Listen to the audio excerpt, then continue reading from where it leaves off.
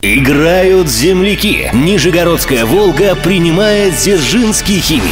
Начало матча на стадионе «Локомотив» 25 апреля в 16.00. Ты не можешь это пропустить.